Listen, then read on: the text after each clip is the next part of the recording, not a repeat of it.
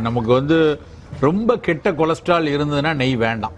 ஒருவேளை உங்க கொலஸ்ட்ரால் அளவு வந்து அதாவது கொலஸ்ட்ராலே ஒரு பெரிய சர்ச்சைக்குரிய பிரச்சனை தான்.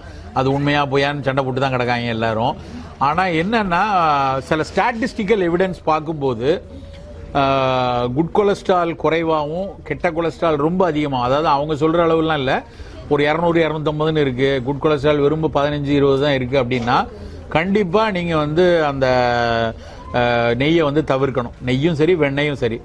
ஏன்னா அதில் வந்து ஒன்று கொலஸ்ட்ரால் இன்னொன்று சேச்சுரேட்டட் ஃபேட்டி ஆசிட் இருக்குது ஸோ அது வந்து நம்ம ஆல்ரெடி ஒரு இஸ்கிமிக் ஹார்ட் டிசீஸ் இருக்கும்போது இல்லைன்னா அந்த டிஸ்லிபிடிமியா இருக்கும்போது அதை எடுக்க வேண்டாம். அதுக்காக எல்லாருமே கொடுக்கக்கூடாதான்னு கேட்டால் கிடையாது. எல்லாரும் சாப்பிட்லாம். அதுவும் குறிப்பாக கொஞ்சம் நெய் சேர்த்துட்டே வந்தால் முட்டு வலி வராது. பொதுவாக நாங்கள் வந்து சித்த மருத்துவத்தில் எண்ணெய் வெண்ணெய் நெய் எல்லாமே உடலினுடைய நெய்ப்பு தன்மைக்கு நல்லதுங்கிறோம். சைனோவியல் அந்த ஃப்ளூயிட் நல்லா இருக்கிறதுக்கு எலாஸ்டிசிட்டி நல்லா இருக்கிறதுக்கெலாம் முத டிஸ்க் ட்ரைனஸ்லாம் வராமல் இருக்கிறதுக்கெலாம் நல்லதுங்கிறோம். ஸோ அதனால கண்டிப்பா நீங்க வந்து ஒரு கொஞ்சம் குறைவா எடுத்துக்கொள்ளலாம். குழந்தைகள் வீட்டில் இருக்காங்கன்னா கண்டிப்பா கொடுங்க. டெய்லி எடுக்கலாம் ஒரு த்ரீ டு ஃபைவ் கிராம்ஸ் எடுக்கலாம்.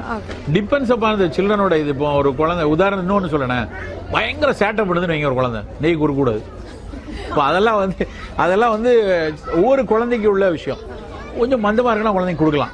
ஏன்னா அப்புறம் இன்னொன்று ரொம்ப ஒபீஸாக இருக்காங்க. பன்னெண்டு வயசுலேயே வந்து ஐம்பது கிலோ இருக்காங்க.